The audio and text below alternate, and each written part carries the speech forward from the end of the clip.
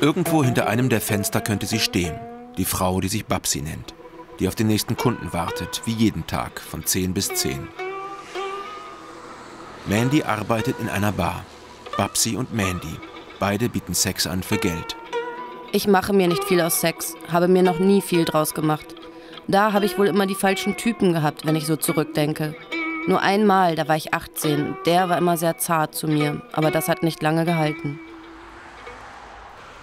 In Clemens Meyers Roman Im Stein ist Mandy eine von vielen Stimmen, die ihre Geschichte erzählen.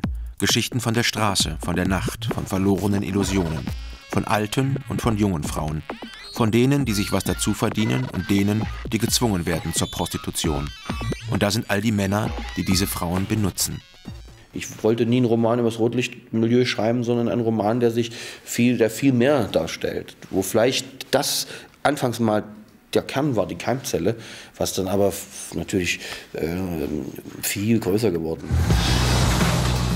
Im Stein ist ein Gesellschaftsepos geworden, angesiedelt im Leipzig der 90er Jahre, als die Goldgräber aus dem Westen meinten, hier ganz schnell das große Geld machen zu können. Mit Immobilien, mit Prostitution. Eine Welt, in der alle träumen und die meisten verlieren. Man lebt, hat Spaß und stirbt. Also das ist vielleicht immer so gewesen, aber in der heutigen Zeit äh, habe ich das Gefühl, das hat sich alles noch mal komplett beschleunigt. Im Stein leben die Menschen eingemauert. Ein düsteres Bild unserer Zeit. Das ist eine große, vielstimmige, chorische Konstruktion, die Clemens Meyer in dem Roman im Stein macht.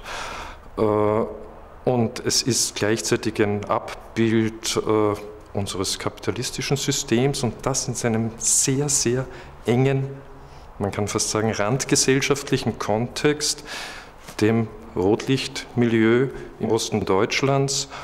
Und tja, wie er das macht in realistischen, surrealen, fantastischen bis hin zu Comic-Elementen, das ist einfach großartig.